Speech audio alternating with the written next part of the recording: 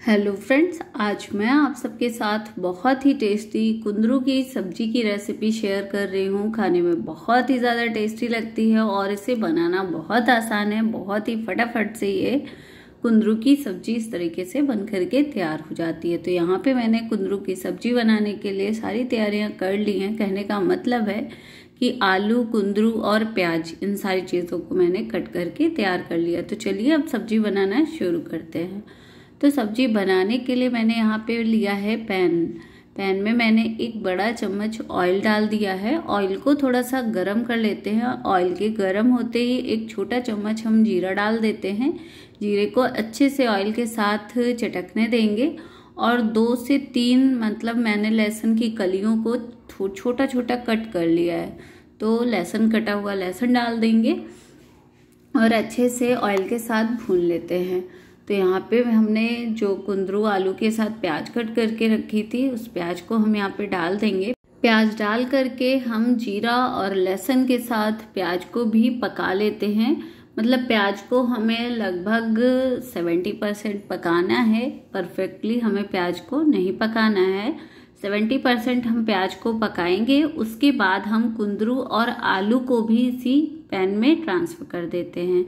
सारी चीज़ों को अब हम यहाँ पे मतलब चला देंगे, अच्छे से मिक्स कर लेंगे और लगभग तीन से चार मिनट के लिए हम इसे भून लेंगे।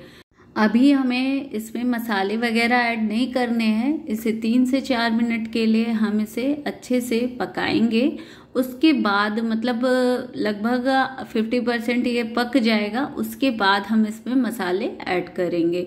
तो लगभग इसे मिक्स करते हुए, पकाते हुए तीन से चार मिनट हो चुके हैं। चार मिनट मैंने इसे पकाया है और लगभग ये 40 से 50 परसेंट पक चुके हैं।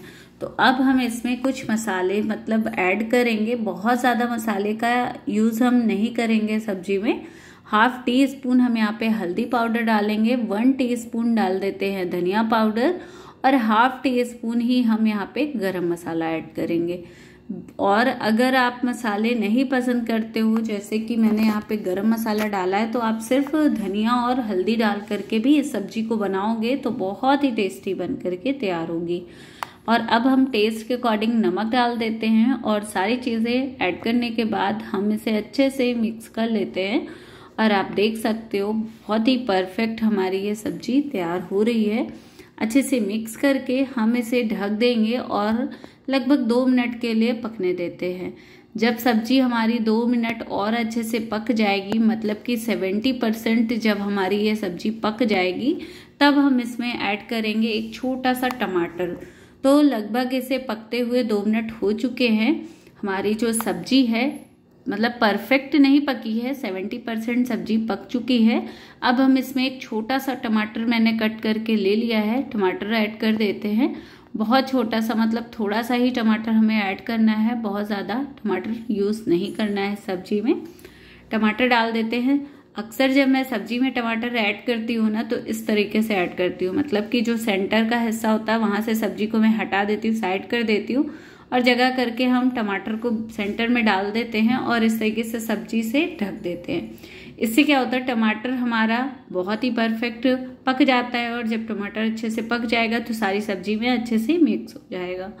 टमाटर डाल करके हम इसे ढक देते हैं, लगभग दो से तीन मिनट और पकाएँगे।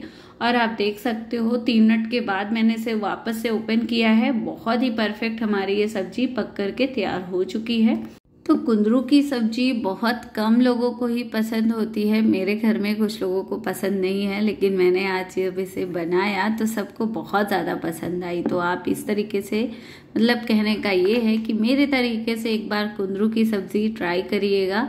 बच्चे बड़े सभी को बहुत ज़्यादा पसंद आने वाली है तो हमारी ये जो कुंदरू की सब्ज़ी है बिल्कुल परफेक्ट तैयार हो चुकी है। अब आप इसे सर्व कर सकते हो। मैं स्पेचले से इसे कट करके देख रही हूँ कि परफेक्ट पकी है या नहीं तो कुंदरू भी बहुत अच्छे से पक चुके हैं और आलू भी बहुत ही अच्छे से पक चुके हैं। तो बस अब हम गैस को ऑफ़ कर देते हैं और सब्ज़ी को सर्व करेंगे। तो फ्रेंड्स आज की आपको मेरी ये कुंदरू की सब्ज़ी की रेसिपी कैसी लगी कमेंट में ज़रूर बताएँ। वीडियो अगर थोड़ी सी भी पसंद आई होगी तो प्लीज़ वीडियो को लाइक करें फ्रेंड फैमिली के साथ शेयर करें। मेरे चैनल पे न्यू आए तो प्लीज़ चैनल को सब्सक्राइब ज़रूर करें। Thank you so much